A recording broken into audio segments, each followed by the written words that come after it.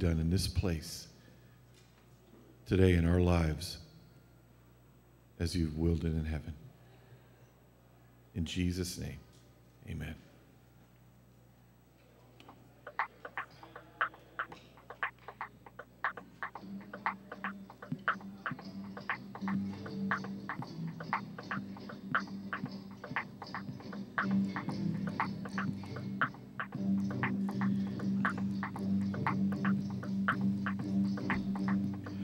Praise is rising, eyes are turning to you. We turn to you. Hope is stirring, hearts are yearning for you. We long for you when we see you, we find strength to face the day. In your presence, all our fears are washed away, washed away. Oh,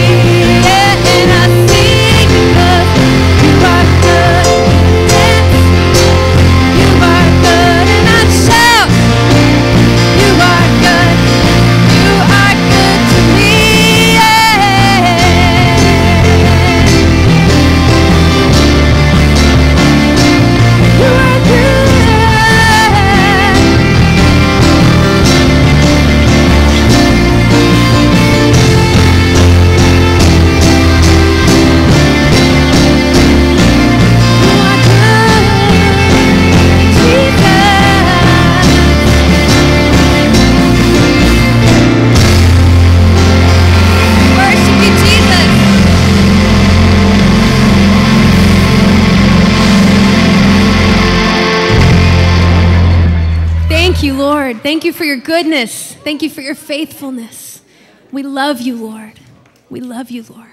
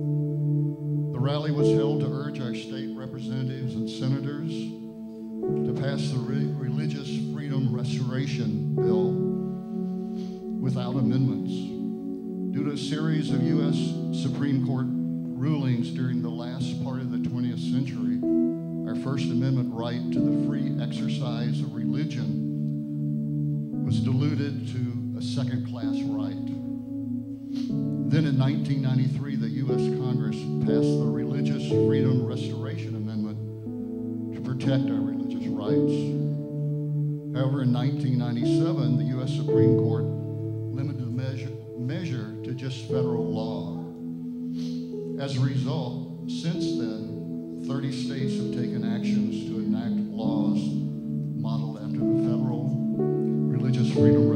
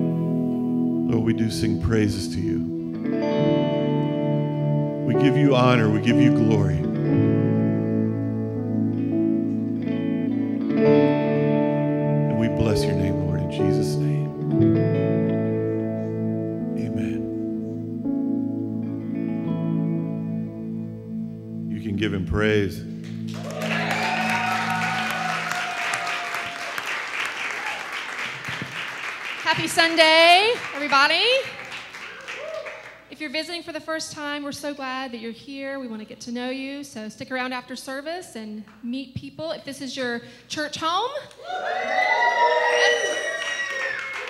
uh, we have quite a few announcements this morning. Um, we're starting two new groups. The first is a Young Mothers Encouragement Group. And this is going to be on Thursdays at my house. So if you're interested, please come see me. I'm Christina. Um, it's going to be starting around 9:30 in the morning, and from like 9:30 to 11:30. And babysitting will be provided if you have a, a young infant, a toddler, preschool age child. Babysitting will be provided. So please come. We had a we've met twice, and we've just had a lot of fun. So please consider joining us on Thursday mornings. Um, the second group is an intercessory prayer group. Yes, yes, you can be excited about that. And it's going to be the second and fourth Thursdays, I believe, at 7:30 p.m. right here. So please join us um, as we pray for our church, neighborhoods, country, the world. we have a lot of praying to do. So please um, come on Thursdays, second and fourth Thursdays for that. The Living Arts Gallery is in need of a team to help facilitate events. Where's Troy? There he is. If you have a heart um, for worshiping God through art. We have many artists in our midst, and if that's something that God has put on your heart, please consider contacting Troy to help with that ministry. And last thing, this coming Saturday, we are going to have a paint day. I know you're really excited about that. The children's ministry rooms are in desperate need of painting. So this is an all hands on deck kind of call, correct? Yes? Yes? Okay. Saturday morning, at 9 a.m. That's this Saturday, the 14th. If you think you may be able to help with painting, could you just like raise your hand? Anybody? Anybody? Come on, come on. We need lots of painters. Okay, awesome. Thank you. Bless you guys. All right, well, good morning. Is, um, are, is the intercessory group meeting this Thursday? This Thursday night, 7 o'clock, 7.30? Um, if you are interested in being a part of our intercessory group or team, you know, 7:30 right here in the sanctuary. Um, you're you're welcome to come. Uh, Rich and Mary are heading up. Put, there's Rich putting his hand up. They're heading up our intercessory team, and I really believe this that God is beginning to do some wonderful things because we're beginning to pray. And speaking of prayer, I I want to ask you all to do me a favor. If we could pray, I told him we would do this. Yesterday, I was, I was cleaning my truck, and um, and making it look nice, clean the tires and stuff. And uh, my neighbor came out, and I haven't seen him in a, several months. And, uh, but I didn't recognize him because he was so skinny. And I looked over and I said, I said, Jim, I said, how you doing? And he goes, and I knew. I walked over and I said, What's happened? And he goes, I just got diagnosed with esophageal cancer, stage three. And he can't eat, and they had to put a feeding tube in his stomach, and they think it went to his liver too, um, cancer.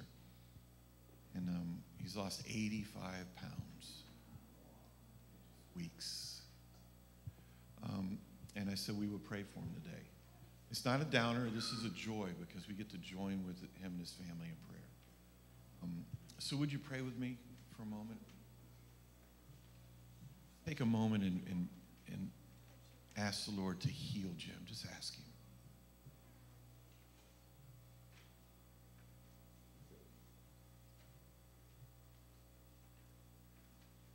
Lord, I come to you on behalf of Jim and Christy, his wife, and your whole family. But Father, right now, in Jesus' name, we speak to that cancer and command it in Jesus' name to die off. You have no authority. I know that Christy loves you, and I believe that, Lord, you're working in Jim's life. So, right now, in your great love and compassion, I ask that you will heal Jim.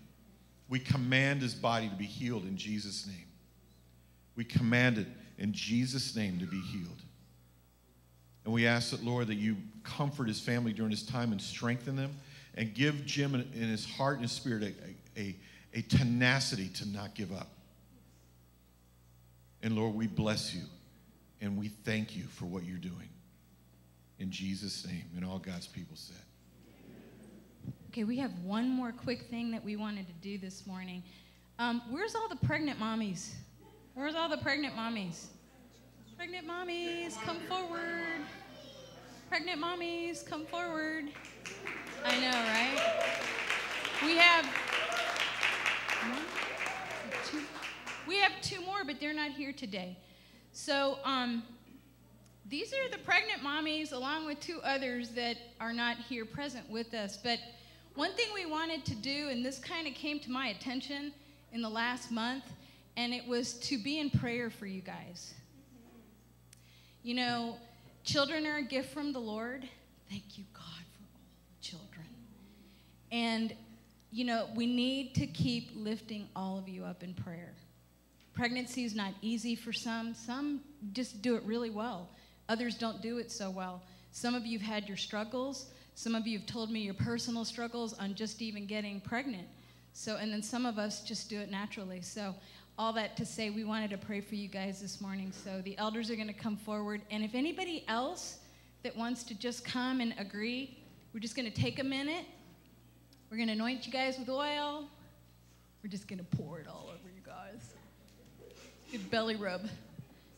And, um, then I'm just going to hand the mic over, and we're just going to take a couple of minutes because we have some other things going on this morning, but we just want to bless God for them. So.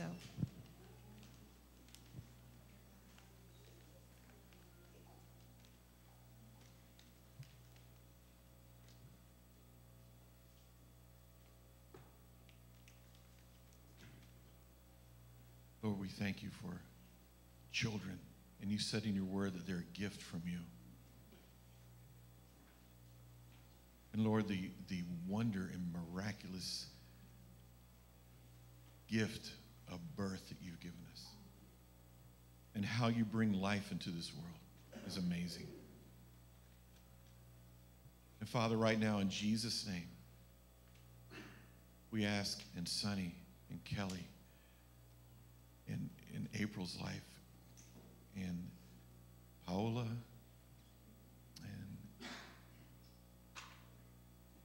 and Anna. That's right, Anna's pregnant.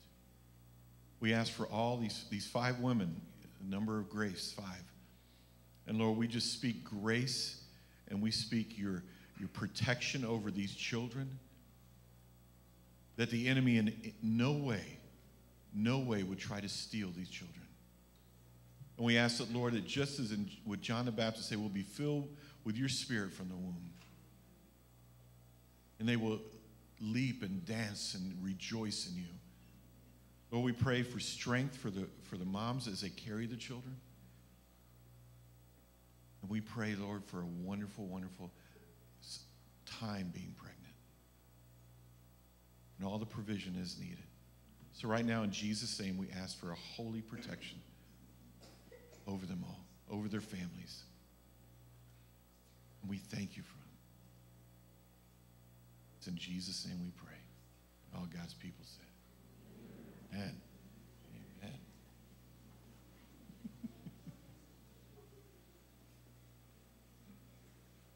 okay, youngins, you're free to go. Everyone else stand up and greet somebody just for a moment, if you would. No, no, there's no prayer time. Go, go,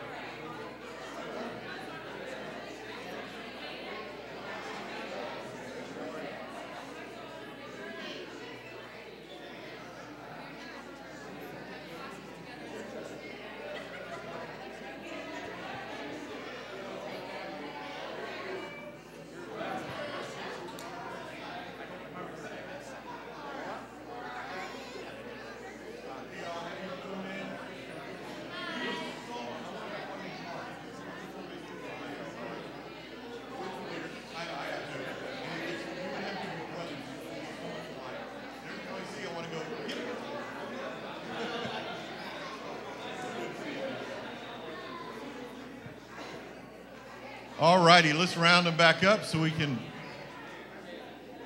have a good time.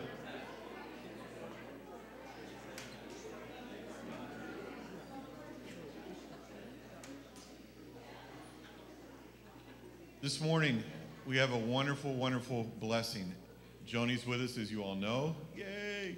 And, and so we're just going to bring her up. We're going to pray for her and turn the Holy Spirit loose in her.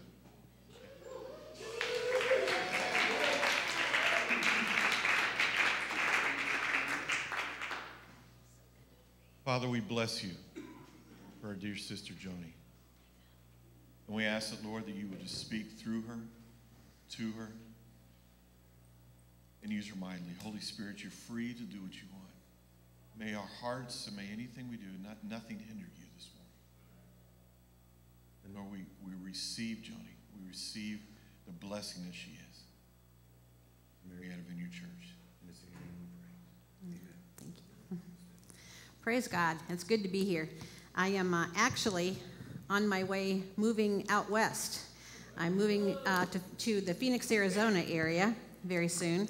And so for the next two months, I'm on the road. My mobile home has already been sold. My belongings are already in shipment out to Phoenix. I've already got my apartment rented.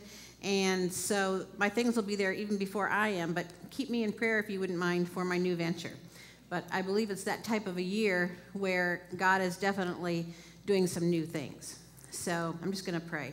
So, Lord, I just thank you for each and every one here, and I ask you that you would just continue to pour out your spirit in an awesome way. And, Lord, I just ask that you would bring us up to the next level of being able to hear and understand what your spirit is saying to the church in this time period. And, and Father, we just thank you for all you're doing here. I thank you for Ron and Denise and for each one that's here. In Jesus' name, amen. So um, I was thinking about Ron and Denise and how long I've known them. You know, they've just been really good friends. And so I, I just kind of have a, a mischievous uh, way of thinking about things sometimes. And then I was also thinking about, yeah, they, they knew me and loved me even when I was really heavy, you know, and I'm still working on it, but I've lost over 100 pounds, and, and God is good. And, and the Lord loves to joke around with me, and He said, Yeah, they've been friends with you through thick and thin, haven't they? Puts a whole new spin on that, doesn't it? and in many other ways than the weight. so I'm really excited because I um, last year was a rough year for me. Not that this one's been any less rough, but at least there's been a few good things going on too. But started out last year, uh, my spiritual mentor and, and Papa and the Lord, Bob Jones, passed away in February. My brother passed away in June, and a whole bunch of other things had happened by then. And, you know, I, I just was, Lord, what's going on? And he began to speak to me about um, that it was preemptive of the year that's coming up now, and the enemy was trying to discourage us and stop us and make us give up before we got to this year because there was so much going to go on. But, you know, in my home church uh, back in West Virginia, where I've been for a few years, the pastor and all of us were also saying, God, what happened? You know, this year we were saying, what happened to all the promises that we felt like that we had last year that were going to come to pass last year?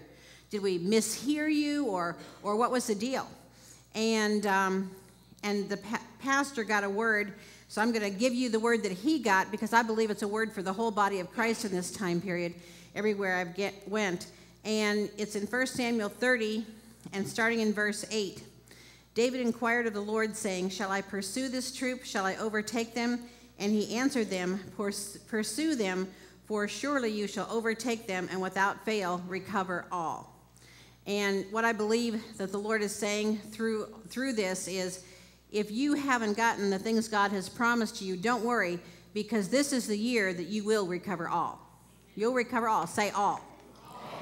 And so then in uh, verse 18 to 20, David recovered all that the Amalekites had carried away, and David rescued his two wives. And nothing of theirs was lacking, either small or great, sons or daughters, spoil or anything which had been taken from them. David recovered all. Say again, all. all. Then David took all the flocks and herds they had driven before those other livestock and said, This is David's spoil. So I really believe we need to get the mindset to understand that God really means it when He says that we're going to recover all. That's everything. Whatever it is that the enemy has stolen, whatever it is you've been waiting on, this is a year to recover all. And the other thing is this you know, as we're going along our, our pathway and everything, we need not to give up or settle for anything that is less than what God promised. So the Lord spoke to me one morning and He said, 2015 is the year to give up. And I was like, I rebuke that in Jesus' name, you know. to which he laughed at me since it was him speaking to me. I was rebuking him in his own name. and he said, I'm telling you that it's time to give up what- you've been willing to settle for and to get my best that you were made for. And so, you know, God wants us to give up whatever it is that we've been willing to settle for because He has much better for us. And in this year, Psalm 65 11, He crowns His year with His goodness and His paths drip with abu- abundance. Now, I, you know, sometimes I hate putting out words because then I have to live them. Just saying. That's the rough part about being prophetic. You'll put something out, and then the next thing you know is like, I thought that was for them. I didn't know I was going to have to go through it too. and uh, so he told me that this year was going to be a year of acceleration and breakthroughs and suddenlies upon us, so much so that we may find it a challenge to keep up. Now, that first part was fine, but the challenge to keep up part hasn't been too awfully fun. But I promise you, that's what's going on in this time period, which means, you know, when it comes to uh, being overly concerned with what's going on, when it comes to thinking about, oh, we're not going to make it, the things God's promised me haven't uh, come to pass so far, and they're not about to. You know what? You just need to tell your mind to shut up because no, ain't nobody got time for that. And I really believe that it's also a time when we need to personally know what our time and season is. You know, just like the sons of Issachar knew their times and seasons, the Lord says it's time for us individually to know the time and season that we're in, as well as the rest of the body of Christ. And also, they knew, you know, the uh, sons of Issachar knew what Israel ought to do in those times and seasons. And so we need to know what we're supposed to do in those times and seasons as well. And the Lord says, even if you've messed up, that's what the blood of Jesus is for. because when we go to Him, if, even if it's been our fault that we've messed up, that we're not walking in what He's called us to, we can go to Him. There's forgiveness. The blood of Jesus covers it. He doesn't remember it anymore. You can leave it in the past and you can go forward. So whether you've messed up or missed out, whether it's your fault or somebody else's, God is in the restoration business. And I really felt like that the Lord said also, um, don't fear change. Now, I really feared change. When I first was thinking about moving, number one, I was going to move to Los Angeles. And because that's where I grew up, and I've always wanted to go back there. And so I had it all set up. I was going to spend three or four months with a friend of mine, rent a room off the side of her house. She didn't care that I had my puppy dog. She has a fenced in yard. She's got a couple dogs too, and so what's three more, you know? And, uh, and we have a really good relationship and friendship over the years and all that. And then I heard that a prophecy that Bob Jones had given about the big one, big earthquake in Southern California, had come to pass. That was, he said the forerunner of it would be that there would be a simultaneous earthquake in Calexico and Mexicali, and that occurred in January. So I was like, oops, my bad. Don't think I really actually want to live uh, where the earthquake's going to happen, and I hope that he'll give me a heads up so I'm not visiting there when it happens. And then I had a friend of mine that in the Phoenix area that just had been encouraging me for over a year to move there, and I felt like, well, that'll give me the opportunity to be near Los Angeles, still go over there, go over to Sacramento, but be far enough away to hopefully be safe from all that. And so began to work on that end of it. And at first, I was going to keep my home back, and I'm telling you this for a reason. I was going to keep my home back in West Virginia, and as well as go out there and just try it out for three or four months. But I would have my options open. and I went down to South Florida, and a wonderful group of people down there uh, that have the Harbor Church down there gave me a house to use free of charge for six weeks on their property, 15 minutes from the beach. and everything, and which meant I didn't have to have so many meetings to try to make ends meet to pay for a hotel bill during that time. I could actually have some downtime. That's like something I've not ever had before, especially near the beach. And as I was there, the Lord spoke to me and he, he began to tell me, well, first of all, they were still mowing lawns in January. All right, they, they do that in South Florida. As you all know, you live there. And uh, the thought came to me, oh my gosh, it's almost time. I'm going to have to pay $100 every week or 10 days again for them to mow my lawn back in West Virginia, and I won't even be there. That's $300 a month, and I'm not even there, plus paying rent and utilities. And I'm like, oh God, maybe I shouldn't be making this move. And just all of these things began to flood me, and fear, panic. I'm, I was actually starting to have panic attacks, which I haven't experienced in years. And then I said, well, I, you know, plus that, and I, I can't just like give up the mobile home. And the Lord spoke to my heart, and He said, burn your boat. Now, and I was like, oh, I can't do that. and so, you know, years ago, there was this guy named Cortez that he and his men were exploring, and they went to, I think it was South America, and they decided they would, you know, keep their boats there and everything so that if things went wrong, that they could have an out and leave. And so finally, Cortez and a couple of his other guys went out and burned the boat so that they would have no option except to succeed in where they were at. And so I was like, well, I can't do that. And I gave him, the Lord a list of things. I don't have anybody to take over the mobile home. I don't have anybody to take over the lease on the land and all of that. And within four hours, listen, folks, four hours, it was all taken care of. I got a phone call from somebody asking me if I was wanting to get rid of the mobile home. Um, I gave that person my mobile home. I gave them all my furniture and I and within within that four hours as well, I found the apartment that I wanted out in the Phoenix area, got it all put together. I mean, God just supplied everything within four hours. And I'd been struggling about this for over a year and keeping my options open. And just over and over again, multiplied times, uh, confirming people that I was, where I was ministering at would walk up to me and they would say, I just see you with your van and a trailer moving all the way across country. And then two pastors came up to me, and both of them had had a dream that I was someplace where there was cactus, and I was watering the cactus. That there was like this little container on the top of them that you open up, and the cactus had been dry. And I opened up that little container, and I had a watering can, and I was watering the cactus. And then I'd flop the lid back and go to walk away, and all of a sudden the cactuses would bloom with little flowers. And, and so, just over and over again, all of these confirmations. But at the same time, there were bad things going on too. And so I want to I want to tell you just a short little story. So my son is 37. I'm sorry, 36 years old. He'll be 37 this year, and um, he had been in a lot of trouble before. Many of you prayed for me when he was in prison and everything. He's been out two years. He's done really well. He's had a great job. He's been a forklift operator at a place that uh, gets groceries for Winn Dixie, and he would have to like put his forklift under these pallets full of groceries, like almost two stories high, take them over to the truck and put them in, and, and then go get another load. Now those things are huge. They're they weigh a lot and everything else. Well, anyway, this one night he has his dream, and in the dream he's going up the side of a mountain, and there's a lot of people that are going up the side of the mountain with him, and there's these little bushes that are actually gold growing out the side of this mountain, and they were all getting a hold of them.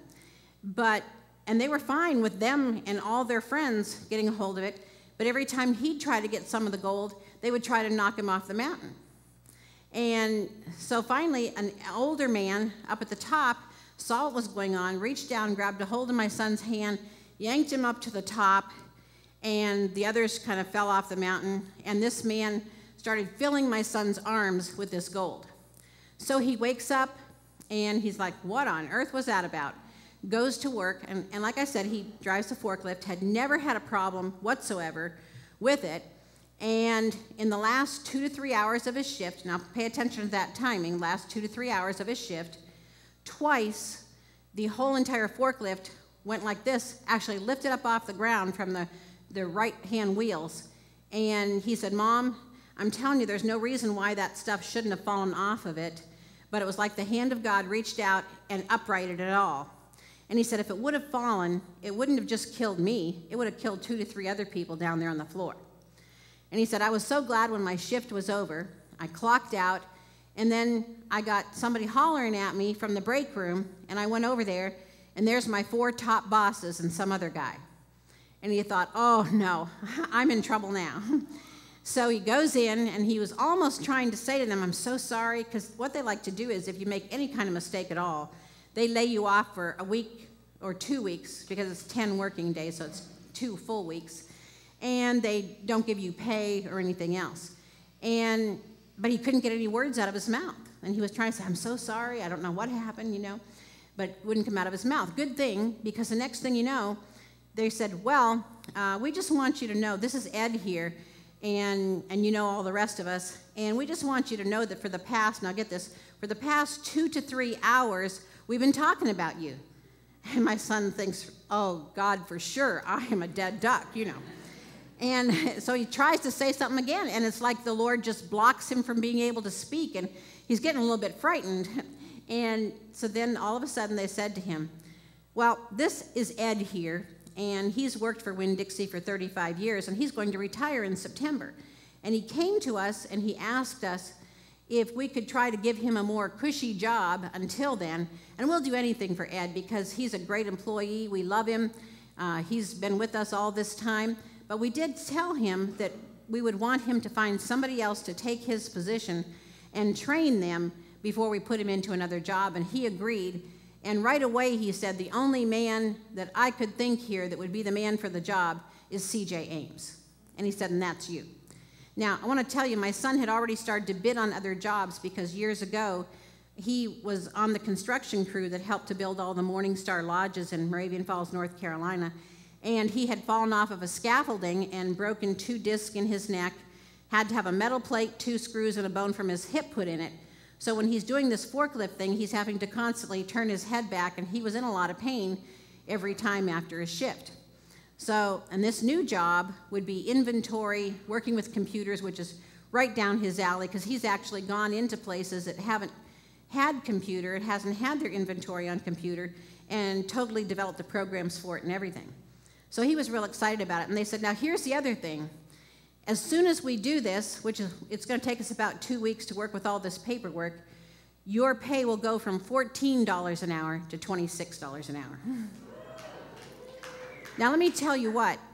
When that happened, he realized the enemy was trying to take him out at the very same time. God was creating a miracle blessing for him, financially and every other way. And so the Lord's been speaking to me about this, and you know, He told me he says, I want to tell you this so that you can share it with other people on the road, Mom. He says, because I think there's something to this. And I really believe there is. Don't believe what you think you see. Don't believe the enemy's lies. Don't believe his discouragement. Because at the very moment that he's preparing for us a blessing, restoration, and, and even uh, graduation, and I'm not talking about graduating to go home to be with the Lord.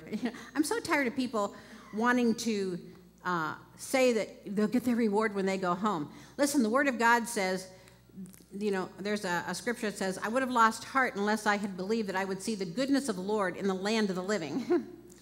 and so we can have the goodness of the Lord and the blessings in the land of the living.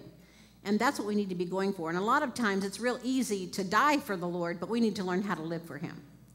And so, anyway, all of that has to do also with change. You know, some of the blessings and so forth are going to come through change. Excuse me. And one of the things that is important for us to know is that, you know, the purpose of change very often is to graduate us and to catapult us to the next layer of, or next level, excuse me, of what He's called us to do. But I also felt like the Lord said, this is a time of divine positioning and divine repositioning. So that can be right where you're at. Maybe there's another position, just like there was for my son, another position right where you're at to move into. But on the other hand, sometimes it's a repositioning even of geographical location that he has for us. But whichever, you know, I really believe that it's a time for those suddenlies to come forth. And what the Lord spoke to me is his suddenlies in place of the enemy's sudden lies. because at the very same time, that those kind of things are going on, you know, the changes uh, to give us God's um, suddenlies, the enemy tries to come forth with his lies and to stop us from what God has called us to do. So, anybody been going through anything like that? Or, am I speaking to the wind here? but I really feel like that one of the things that we have to be very cautious of is our own emotions and our own imaginations. Because what will happen is that our imaginations can run away with us. Just like one morning, uh, the Lord spoke to me as I was waking up, and He said, uh, I, I just heard the word kamikaze, okay? And I was like, oh no, I know what kamikaze is. You know, that's uh, what the pilots were that had, uh, uh, they, they were suicide pilots in, in the Second World War. And then also, if you remember 9 11, and they crashed and everything. And I was like, oh no, we're going to have another 9 11. Oh my goodness, you know, blah, blah, blah. And the Lord says, Will you shut up? and I was like, But it's true, that's what kamikaze means. And he said, Get your dictionary.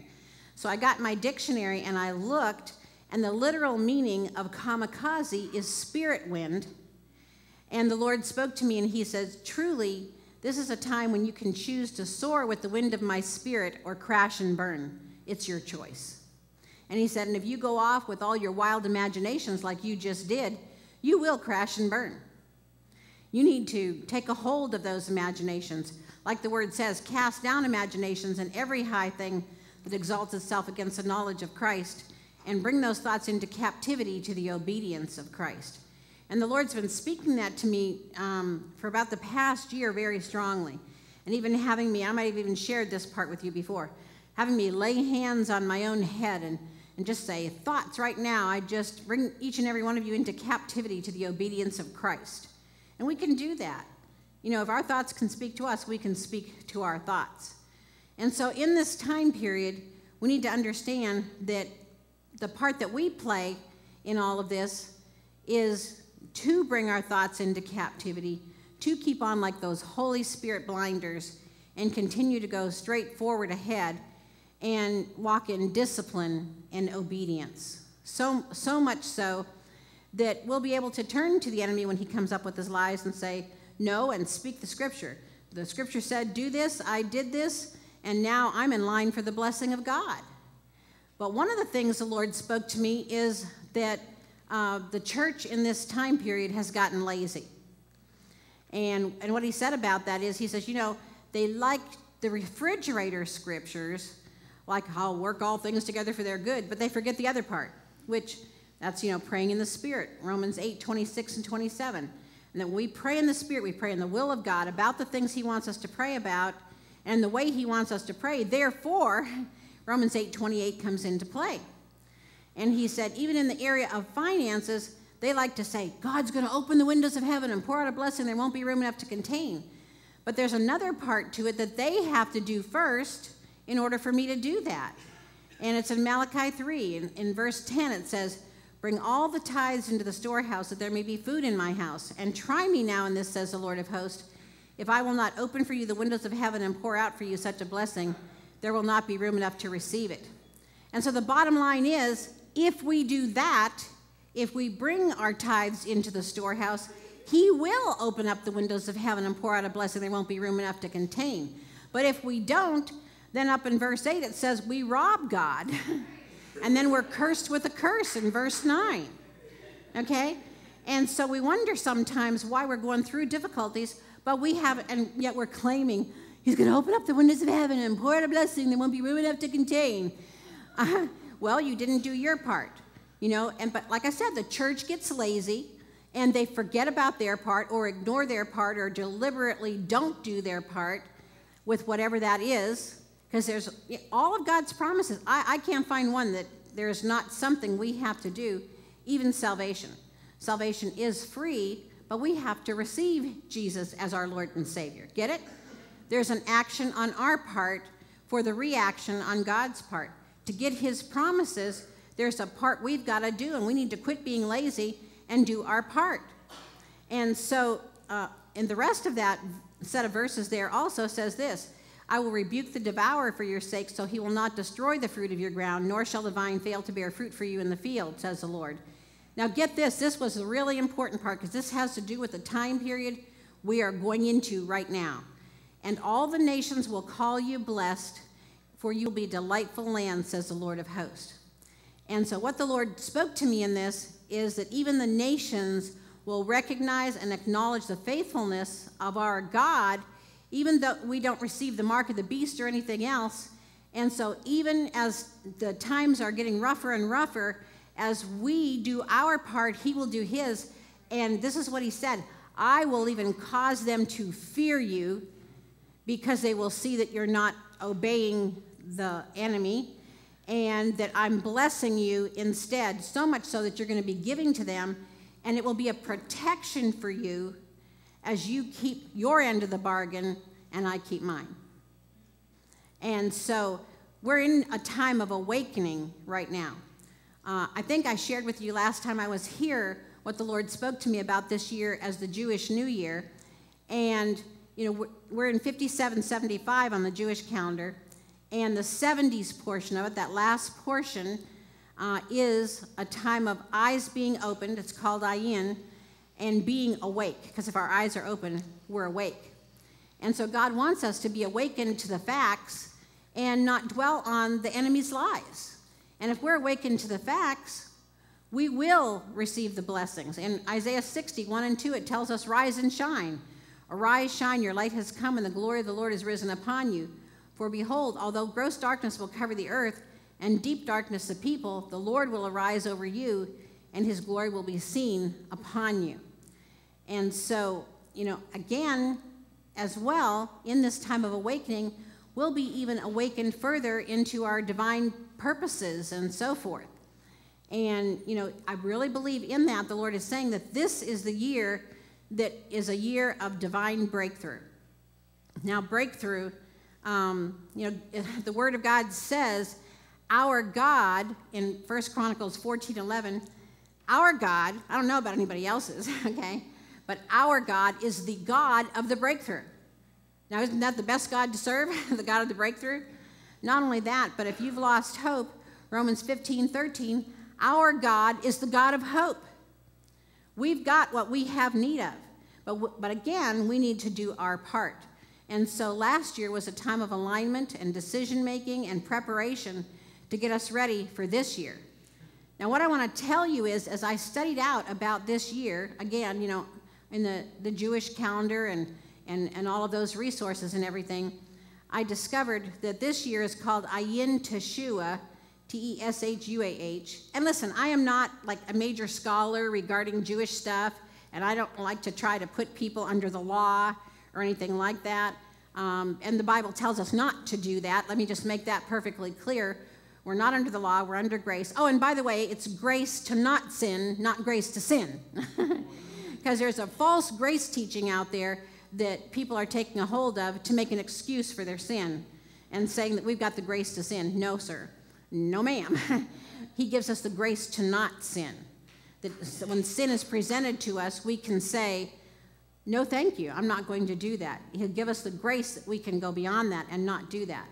So, anyway, uh, Strong's reference 8668 explains what Ayin Teshuah means, and it's the eye that sees rescue.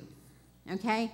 And there are six points to it rescue, deliverance, help, safety, salvation, and victory. And so I'm just going to kind of expound on that for a few minutes, uh, what each point means. So, number one, rescue is that he's rescuing us from fear, sin, deceptions of the enemy, wrongful thought patterns, whatever it is we need rescued from. Sometimes even wrong relationships, okay? Number two, deliverance. And what the Lord told me in that is whatever you need delivered from. If it's uh, a habit you've been wanting to kick, or a generational curse that's on your life, this is a year for deliverance. And for me, it's been, I've had this weight issue ever since I had my thyroid out 32 years ago, and I could get Nutrisystem and gain seven pounds in a week. And I mean, just follow it totally and completely. Weight Watchers, same thing.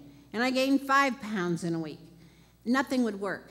But when the Lord gave me this word last June and I took a hold of it, and He gave me His plan, things began to work. And I've actually lost over 75 pounds just since June of last year.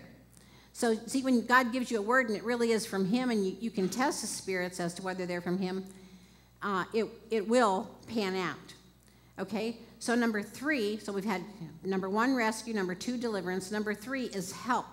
And what the Lord told me in that, to expect reports of, as well as to experience much angelic activity, as well as heightened revelatory abilities. And He said, Do this go ahead and request of Him, request of God, to assign angels to each situation that concerns you.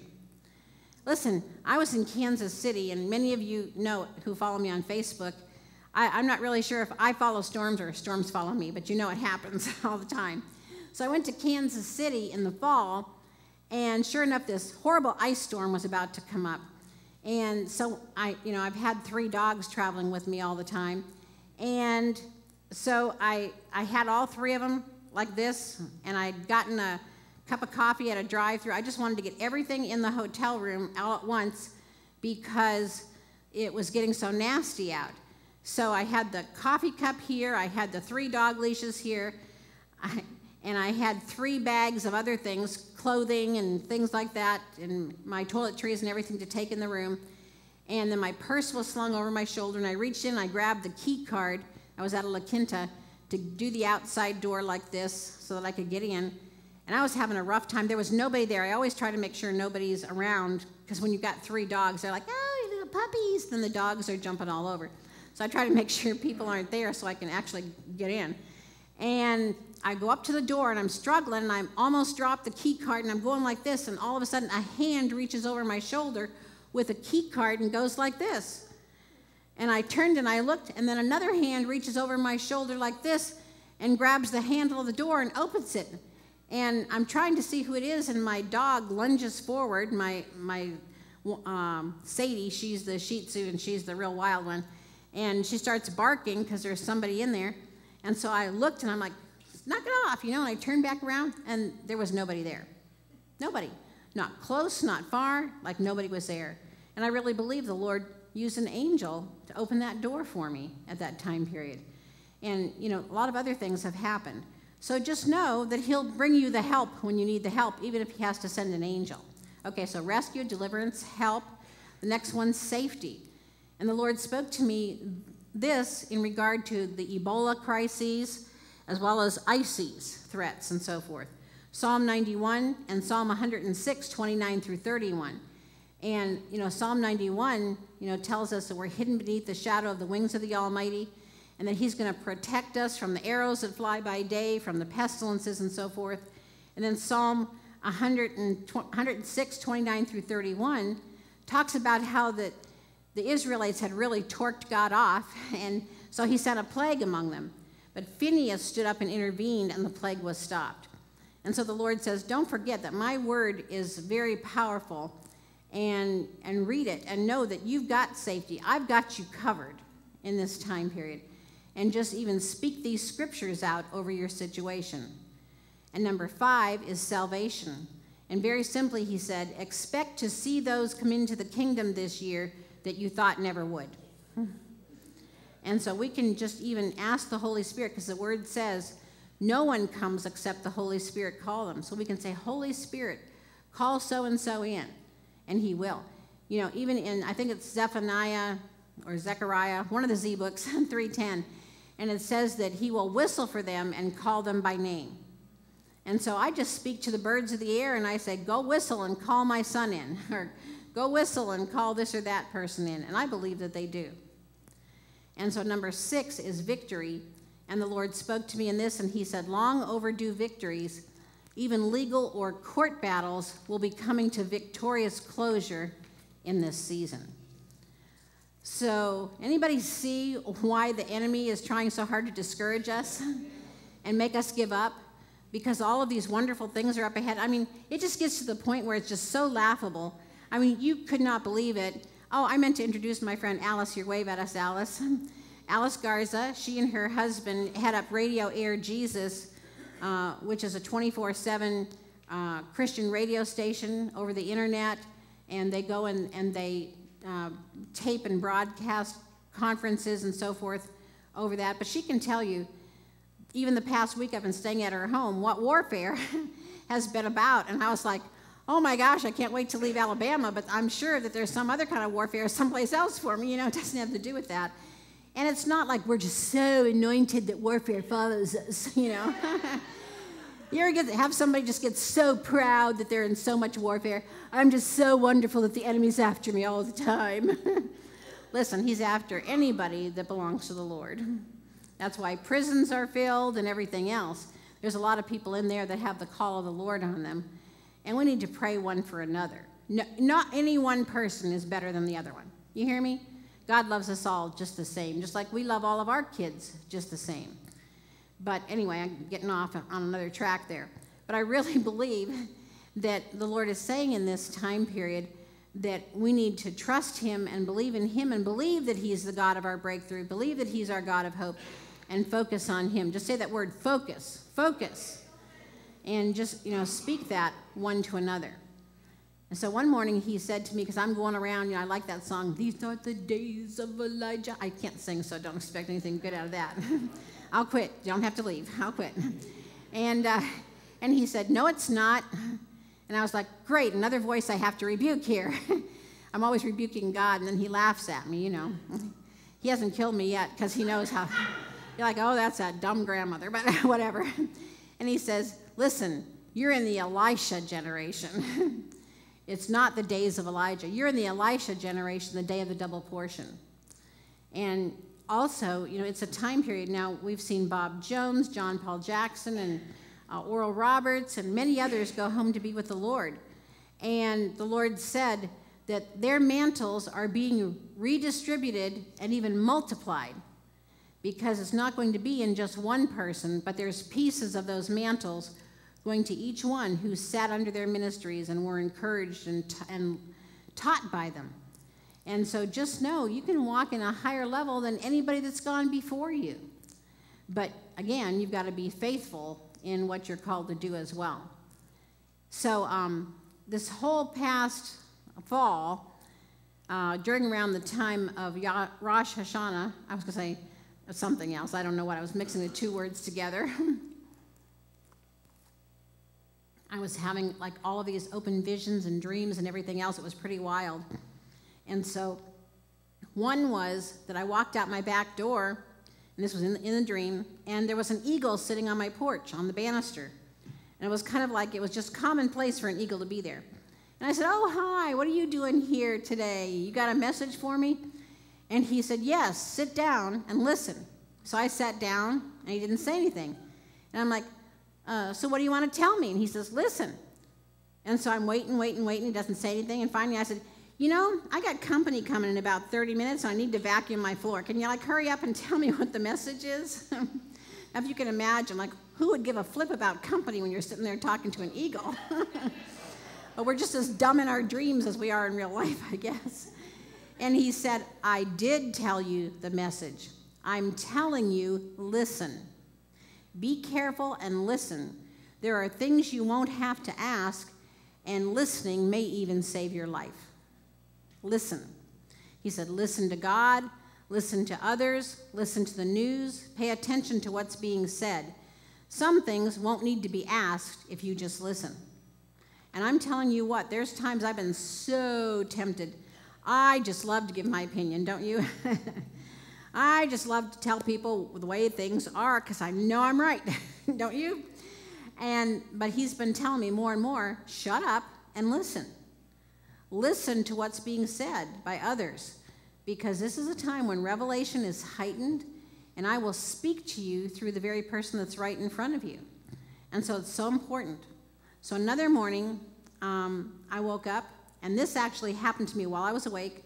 Got out of bed. My hair gets all messed up like bedhead when I first get up in the morning.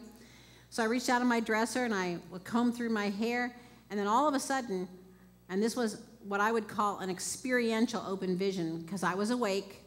All of a sudden, I was not in my bedroom, I was in the heavenlies. And you ever see those fireplace matches that are really long? Well, the Lord reached his hand out with the biggest fireplace match to the biggest menorah I've ever seen, and he lit it. And the anointing and the power of God was so strong, I literally fell back into a seating position on my bed. And then he grabbed the menorah and he turned and he handed it to me. And as he did, it became the size that I could carry. And I walked through this long, dark hallway, lighting the way, and other people were coming out of the darkness and following me. So I called a Jewish friend of mine, and I felt like the Lord said that she would explain it for me. And she said, the menorah is lit during the last during the eight days of Hanukkah and symbolizes a miracle of oil as provision. And the oil that lasted one day lasted eight. And God wants you to know that this is a time and season when He's bringing forth the miracle of provision for and through His people. In other words, whatever you need, God is going to provide. And with the vision comes a provision at the proper timing. But we, again, we can't get off in this imagination and uh, thing and, and just, you know, emotions running high and, oh, this is going to happen, that's going to happen. You know, the Spirit of the Lord says, shut up to you, just like He does to me, because if we'll just listen, He'll give us the answers that we have need of and the direction that we seek. But you know, if we just keep talking, we're not going to hear what He has to say, folks. So we need to be those who listen. And, and as we do, we'll hear his instructions. And sometimes we're not going to know exactly what it is or why it is that he's telling us to do different things. I don't have a complete picture of my move to Arizona.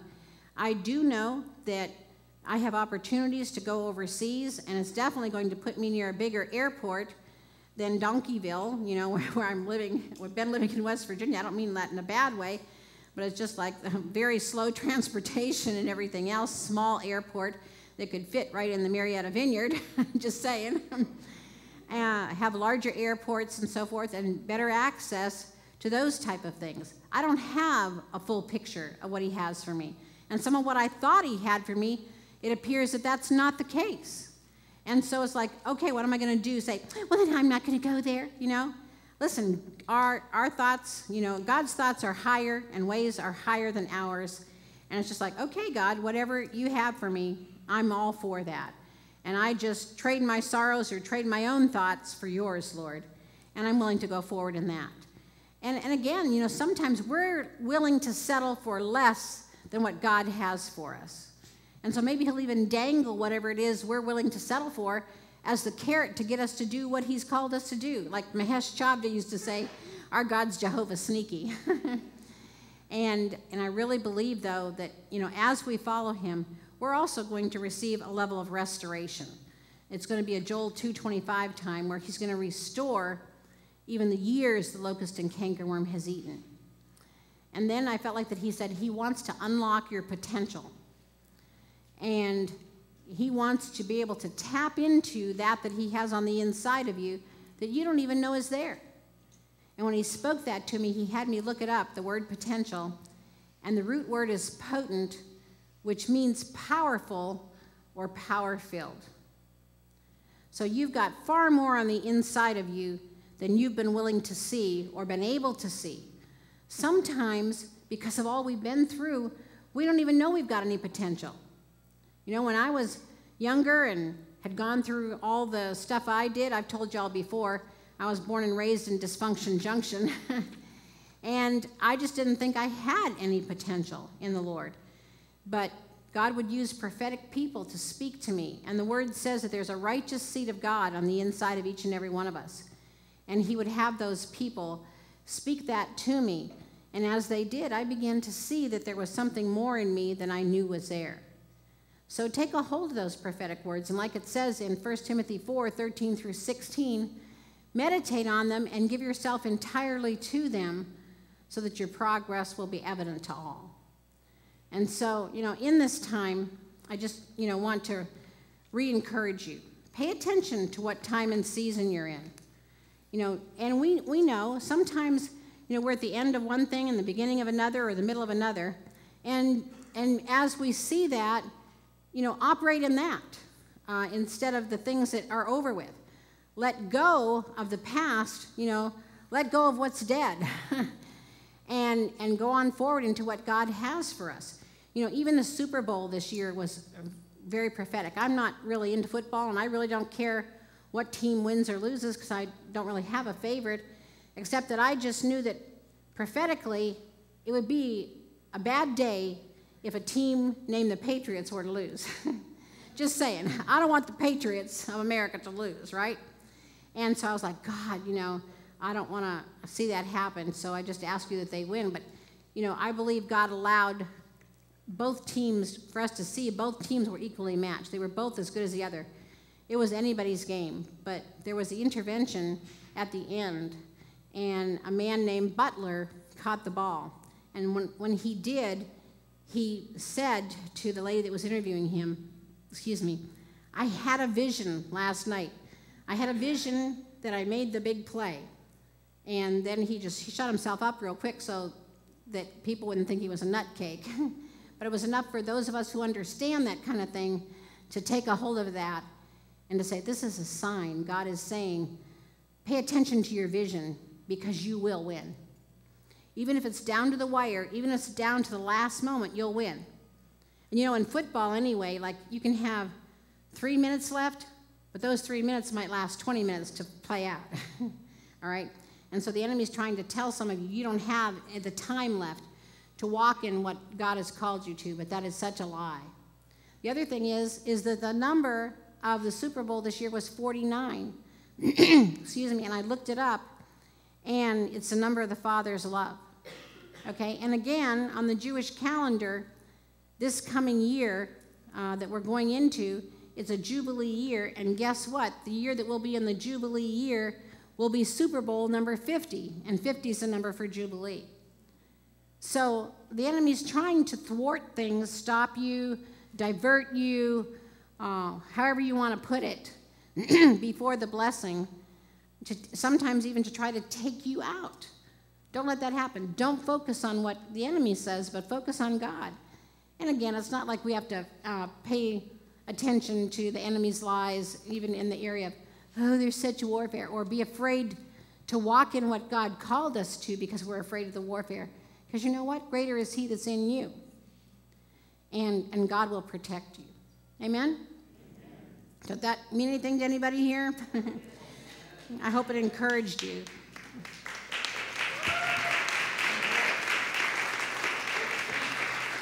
And so just remember, this is your year to recover all. And so grab a hold of that. It's your year for breakthrough. And you know what? Let's just, as a prophetic act, uh, just reach out and just prophetically, you know, do a prophetic act and just say, I just take a hold of my breakthrough and, and I pull it into me. Lord, uh, I receive it. Breakthrough, come to me right now in Jesus' name. if you need finances, Lord, I just call in finances from the north, south, east, and west. You want more people in your church? Lord, I just call in those who are supposed to be here from the north, south, east, and west. Amen. Amen. And Lord, we ask you to send forth your holy, unfallen angels to retrieve the blessings and to get those released from those where those blessings have been held back. Amen. Hey, can I get you all to do something with the lights for me for a minute so I can see people? Oh, yes, I see people. I see live people.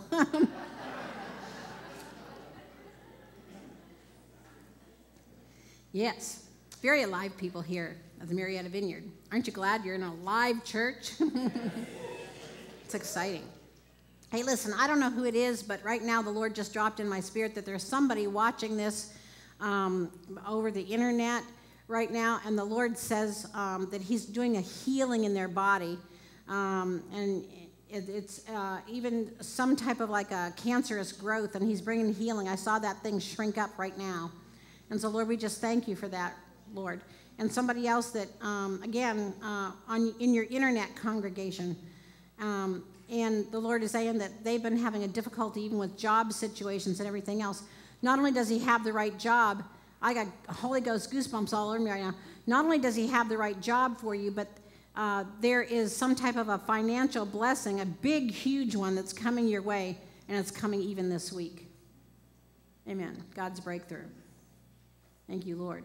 You know, just really pray for your the people that are watching you over the internet. There are some people that can't get out of their houses, sometimes just for a day. Sometimes there's people that this will become their church. And the Lord is saying that's your congregation too. They're your internet congregation.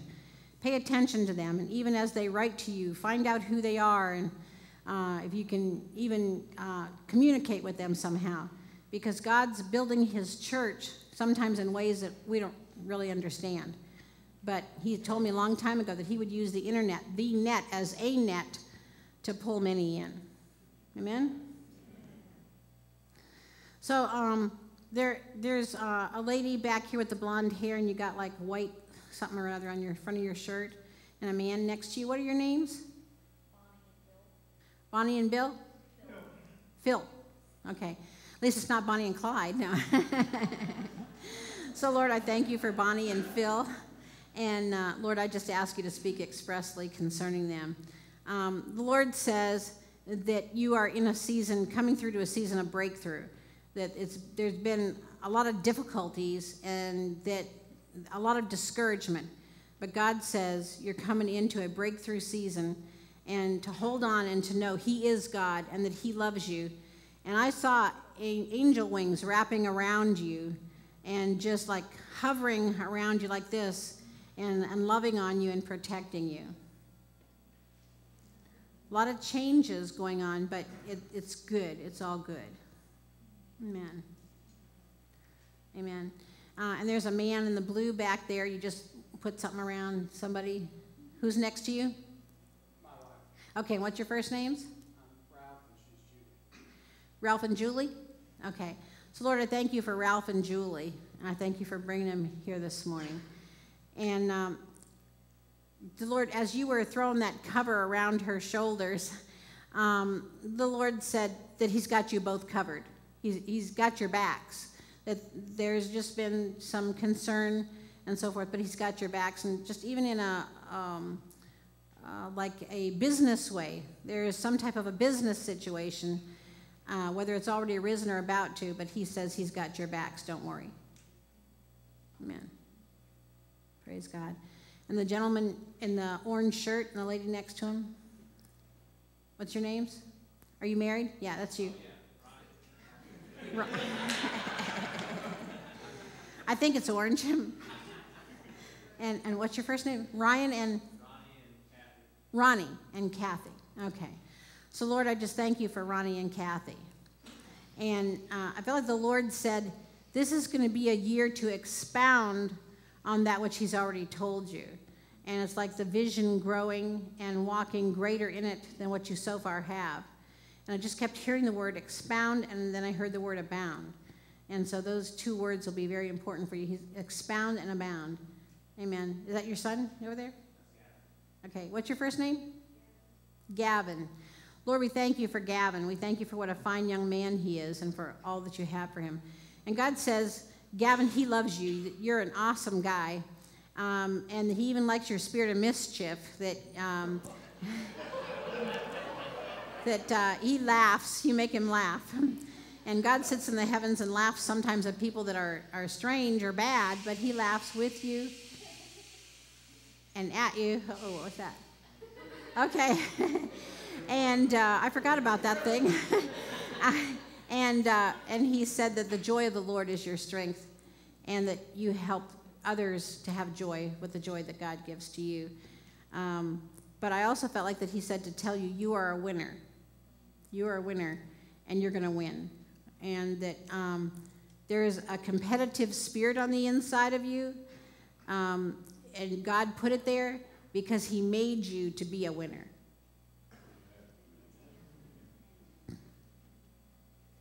Amen. Isn't God awesome? So let's see, I had a piece of paper here that I was writing some people's names on that I felt like the Lord was speaking to me about. Let me grab it. Is that it? Yeah, that's it. Oh, thank you. Okay. Oh, yeah, it was a blue one.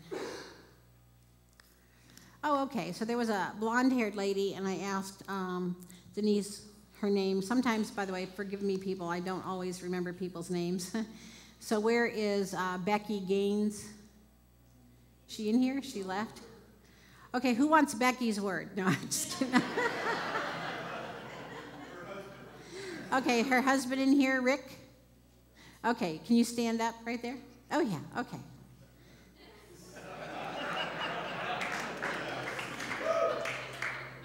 So, Lord, I just thank you for Rick and Becky, and I thank you for all that you have for them.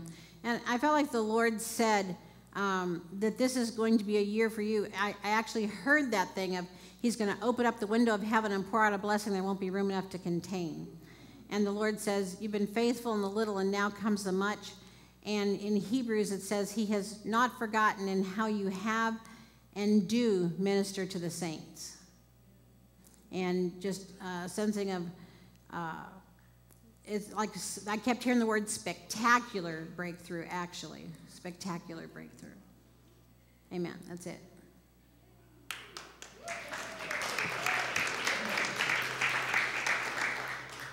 Okay, now where did Troy go to? Troy, Troy, Troy. Oh, there you are. Okay. Um, so, Lord, I just just go ahead and stand up, Troy. Um, so, Lord, I thank you for Troy, and I thank you for all you're doing in his life, Lord, and uh, just for who you made him to be. And I feel like the Lord said, uh, "There's an open door for you." Uh, Revelation 4:1. Come up here, and I'll show you things to come. And that God really wants to speak to you in a revelatory way in this time and season. This is your year, uh, even a year of breakthrough for you, but it's also your year to access that throne room more than ever. And in the process of that, Jeremiah 30, verse 2, write or journal all those things the Lord has told you. But the Lord says He's giving to you an ability to dream, and but it's like at the same time you're dreaming, like to see those things come into reality. And he said, So dream big. Amen. That's it. Oh, but, oh, no, that's not it. Um, I saw you going on some more trips. And uh, he said, It's also a year to travel. Uh, but he said, You're going to find yourself travel more than in the natural, in the spiritual realms as well. And there's something that'll happen in one of these places, like the Lord's just showing this to me as I'm saying it. Something going to happen. Don't be easily shaken because even when there seems to be a delay or something, maybe even if it's something like in customs, don't get shooken up by shaken up by it, okay? Because he has a reason for that delay. And maybe even a word that you're supposed to give to somebody or whatever. So just ask God. But know that it's it's him and it's his divine delay. Um, I need, I need to bring Alice up for just a second. She had a word for the church. That's okay. Do you have an extra mic you can hand her?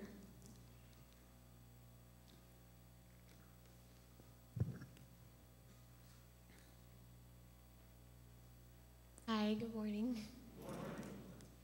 Um, as I was in worship today, I just really felt my spirit that um, the enemy tried to put a spirit of hope defer upon this place. But is, as Joni was saying, I haven't told her anything about your church, by the way, just so you know. breakthrough is here this morning. And um, I saw the angels stepping in here and breaking things of the impossible over your lives and making the possible begin to happen. Um, some of you have gone very weary and tired. And the scripture I heard was um, it says about Isaiah 40, 28 to 31. And it said, The Lord is the everlasting God, the creator of the earth. He never grows weary, weak or weary. No one can measure the depths of his understanding. He gives power to the weak and the strength to the powerless. Even youth will become weak and tired, and young men will fall in exhaustion. But those who trust in the Lord will find new strength. They will soar high on wings like eagles. They will run and not go weary, and they will walk and not grow faint.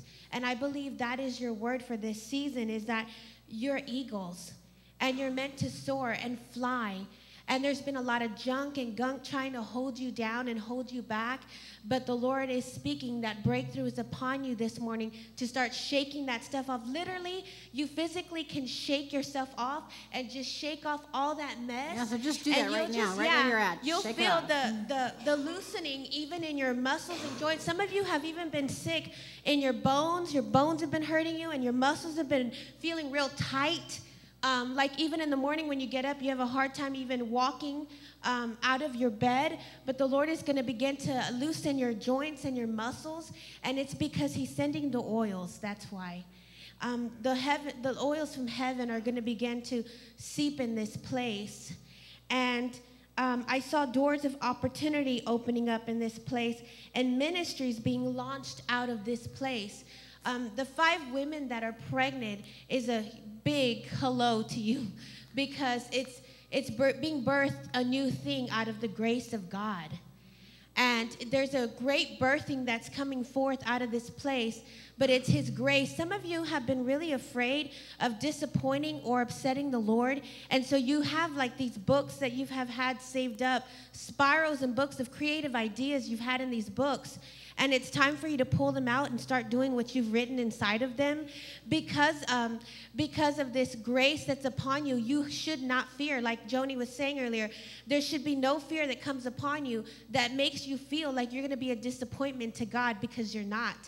His um, obedience surpasses all understanding. That's what the Lord says. So, in your obe- obedience, even though you don't understand what God's doing, because obedience is what you're moving in, it surpasses everything else. And you'll find the breakthrough in that very thing that you've been trying to avoid. That very thing you've been trying to run away from is the very thing that's going to bring you breakthrough. Um, so, run towards it, don't run away from it, um, because the Lord is with you. Um, yes, and I, I just saw like a couple of words for people here. Um, there was a couple that was standing up here. I don't even know if you're a couple. I just saw y'all standing up here. Um, the girl with the green shirt and the guy with the. Are, are y'all a couple? I really saw the Lord launching your ministry this season, and I saw this great fire coming upon you. Um, just the Lord just blowing on you this fire. But in this fire, I saw you not being able to stay still because the fire was so on your feet and your legs. Like you were just like ready to just go do what Jesus had you to do. And it's not even um, a, a thing where you're thinking about it or questioning it. This fire is going to cause you to be driven to move in what He's called you to do. Um, it's really going to be amazing. I'm really excited. And um, I saw that. Um, I don't know who you are, I, and forgive me for not remembering your name, but I really saw that Who are you you're young. This young lady right here. The blonde hair girl, okay. um, I saw that you're young, but the Lord's given you a lot of wisdom in your life. And the reason why you have so much wisdom is because the Lord's really called you to be a kingdom builder. And in that, I really saw you owning your own business and you being like a CEO of your business. And really, um, you always want to be take charge kind of person, but that's from the Lord. If you just begin to take that take, the take charge uh, person God's called you to be and start applying it to, to the things of the Lord, it's going to be mighty awesome. I mean, God, you'll see things flourish. Things that take lots of years, you'll see it bloom fast, fast, fast, because the Lord's really anointed you for that. So thank you so much. Amen. Amen. You know, when- she was saying about it being a year of birthing, uh, the Lord spoke to me through a television commercial. Sometimes, you know, He does that. And uh, it's a Geico television commercial. And, um, and it has this, these like four ladies, I think it is, they kind of act like cheerleaders with different people. And so there's this one guy, and he's trying to open a door and he's trying to pull it, but it clearly says on it, push. And they're behind him, they're going, push it, push it, push it real good. And then it goes to somebody else. They're trying to do a push lawnmower, but it's real, they're really having a hard time. And so they're behind him cheering, going, push it, push it, push it real good. And then there's a lady that's in a labor room and, trying to deliver a baby, and they're, they're, behind, they're right there going, push it, push it, push it real good. And the Lord spoke to me through that, and He said, This is, tell my people, this is a year to push. This is a year to push and birth that which I've called them to do. Not to lay back and to wait for it, but time to push. And sometimes, you know, we're like, I'm waiting on God, I'm waiting on God. And that's just really a religious spirit trying to make you not accomplish what God has called you to. And God is saying He's waiting on you, and it's time to push. Time to push through to the victory. And uh, Rebecca, um, yeah, you. Uh, if you could stand up for a second. Uh, the Lord spoke to me through even the shirt that you're wearing, and He said that that was a prophetic sign, even like Joseph's coat of many colors. And the Lord says that this is a time for you, just like you're wearing that and walking in it, not to see the promises from afar, but to walk in them. Amen. Amen. Thank you, Lord. And um, for Kelly and Lee, uh, I, I just got for you God says, His hand of protection has been upon you, even against you. like that, um, I don't mean like against you, kind of, kind of thing. He says, but that He has protected you even from things like that, um, uh, even like getting over exuberant about different things and, and that kind of thing because he said there's a time and a season for everything. To everything, there's a time and a season and a purpose. But just to know you're in the right place at the right time and, and to just trust him. It's a season to trust him more than ever and not to think like, what did I do? Did I make a mistake? And I know in the natural there were a couple things you wanted to do. And, but I felt like that the Lord said that he protected you even from uh, having like a, a really good heart regarding some of what you wanted to do, but that there's greater favor to come and go than to be there in the place where you were going to go.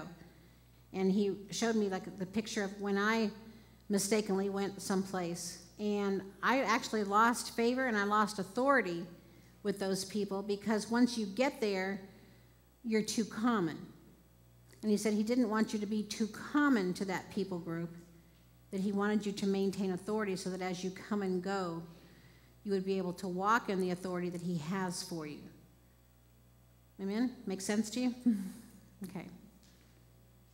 And um, Sally, where'd you go to? Okay.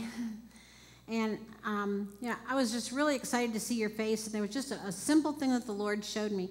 He showed you to me, and you were sitting in evidently your living room, and you were watching television.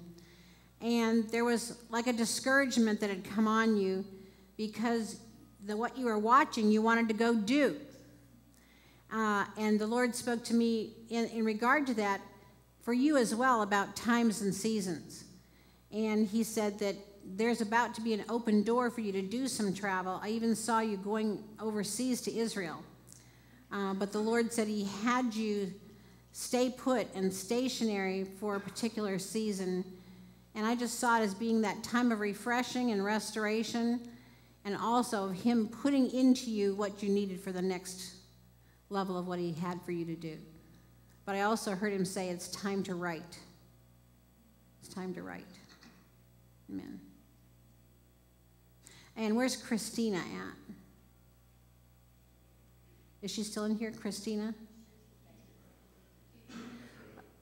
Okay, so who wants her word? No, I'm just kidding. Uh, this is, what's your first name? Pardon me? David. Okay. So, Lord, I just thank you for Christina and David. And, Lord, I just thank you uh, that you have your hand upon them. I just heard, as Christina was up here, I, I felt like the Lord said, even through her name, that she's about to hear him in a more crystal clear way. And that he has much to speak to her. And that as he does, it's going to be a time for her uh, to even write these things down, even songs of the Lord that he was going to release to her, and to pay close attention to the Spirit and not think she was going crazy or whatever, because she's going to just hear these things and, and just even begin singing them out, even prophetic words over people, but to sing them over people. Amen. Thank you, Lord. Thank you, Lord. And Jesse, I heard about your new car. I can't wait to see it out there.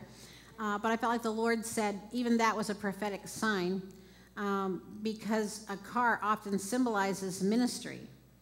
And the Lord said, Behold, I do a new thing and that there's something new that He's releasing you to and into in this season.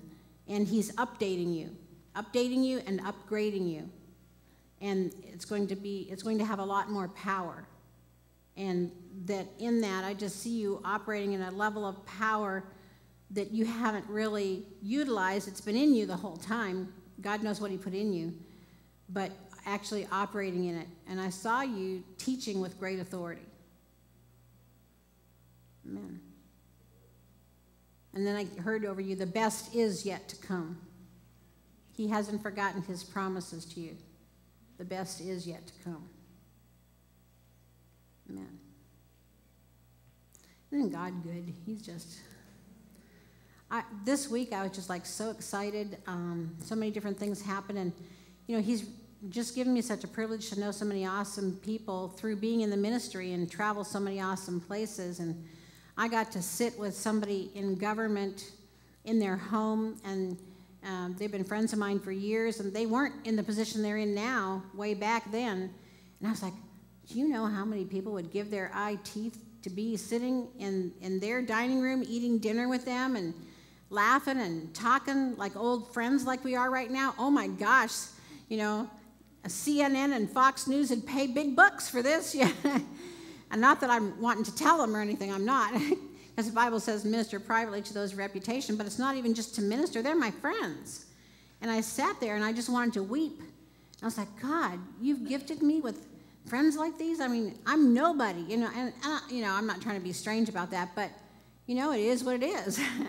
these are famous people, and and and they were sharing some things with me that weren't yet public and everything, and I was like, oh God, please shut my mouth. Don't let me tell anybody these things, you know, hasn't been released yet, and all of that.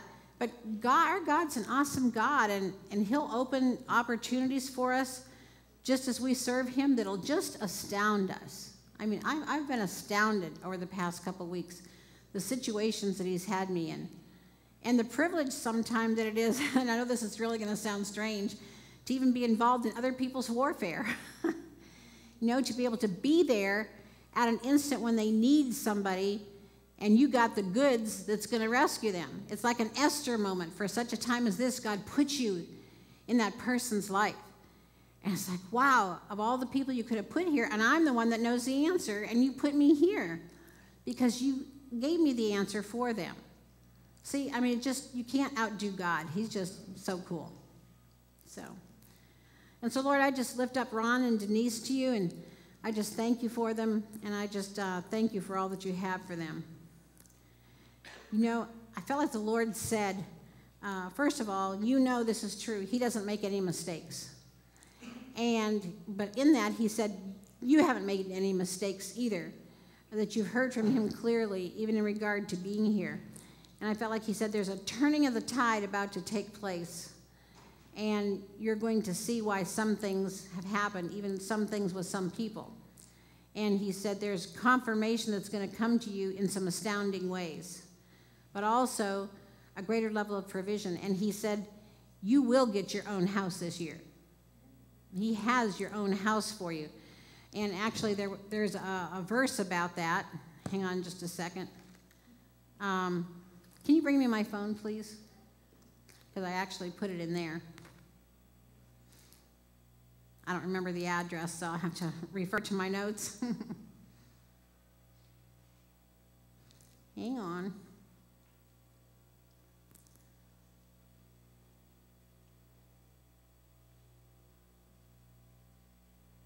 Ah, I can't believe it, I erased it.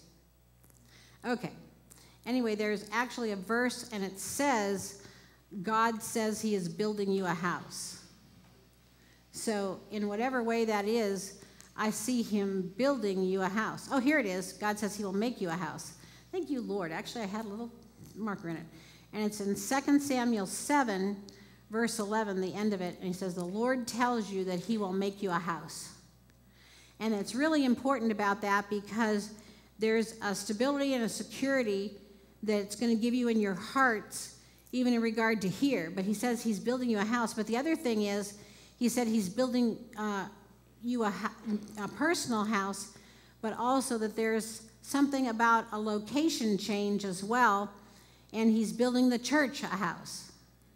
So uh, whether that's a literal, he's building something brand new, or he just, you know, saying, you know, that he's giving that to you. I don't know. But uh, I felt like that he says uh, there's a, a, great move that's about to come to this place. And I, I also felt like that he said, Ron, that um, there's a level of authority that you're about to walk in, even within your denomination here. Um, he's moving you up to the next level. And it's going to require more time of you even to do some travel because of it, um, because you'll be going uh, on behalf of even the region in some different places. Uh, but the Lord says it's Him and not to second guess Him, and that the right people will be in the right places of authority by the time that happens, and there won't be any concerns in that regard either. But there's a level, a change in the level of finances that you've been using, used to having to um, uh, adhere to isn't really the right word, but kind of, but uh, almost be stuck under kind of a thing. And he said he's bringing you all in this church up to another level in the area of finances as well. Amen. Thank you, Lord.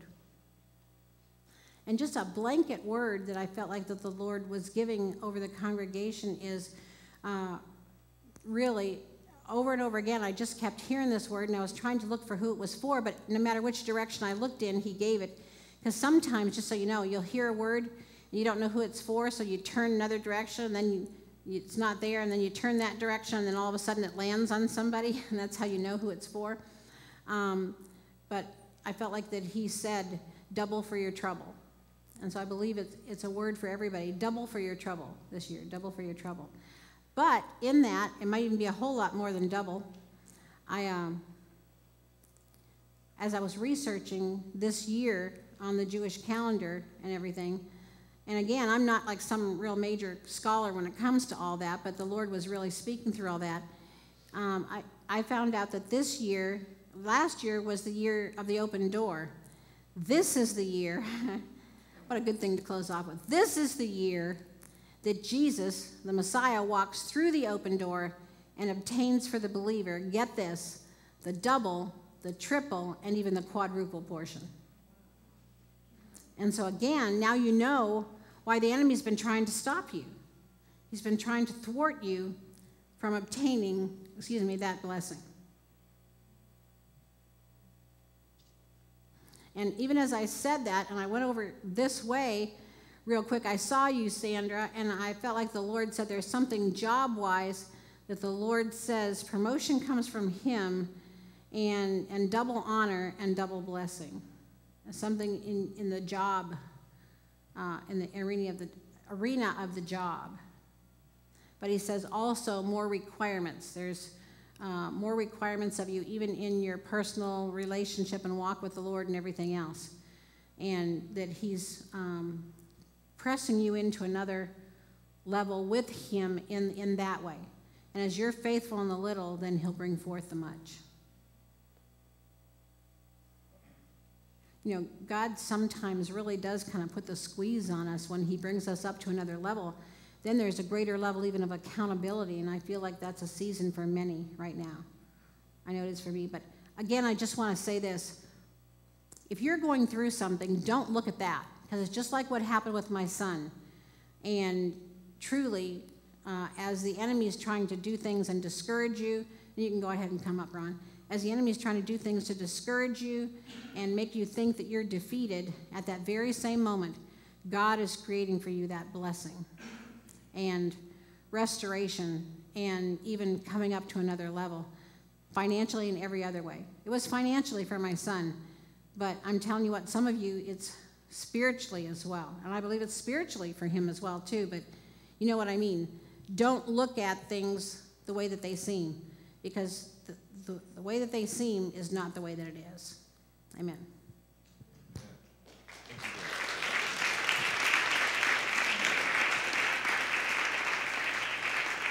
Before we go, if you would, um, Joni lives by faith.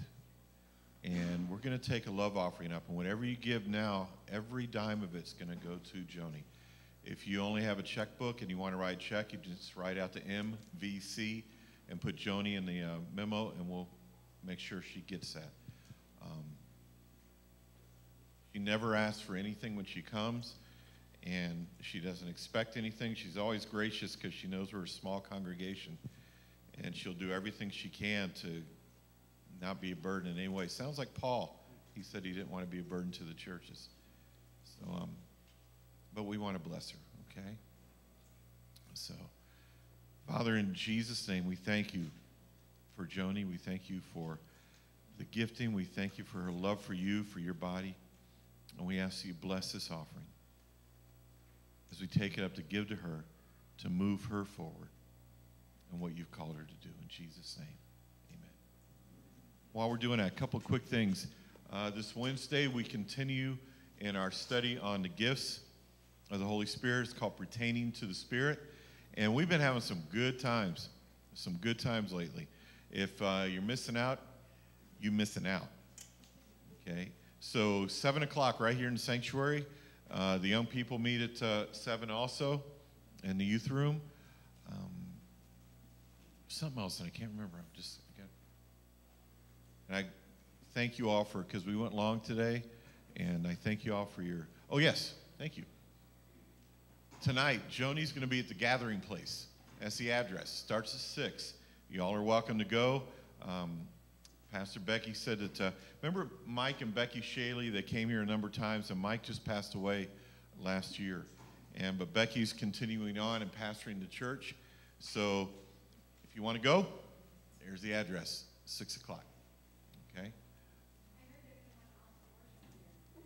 Yeah, I don't know who that guy is. Um, anyways. All right, let's stand up. Okay, get the finger out. Okay, the holy finger. For those of your guests, there's a reason we do this, okay? Okay? And the guests are going like, "What are you doing?" Okay. This is not a condemnation finger anymore. This is a blessing finger. Now turn your your somebody next to you, okay? Turn to somebody next to you. Point the finger at him, okay?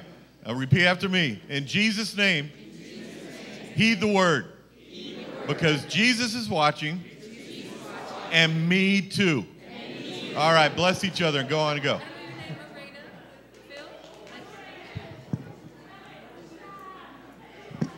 Hey, uh, real quick before everybody leaves the room, is anybody missing a ring?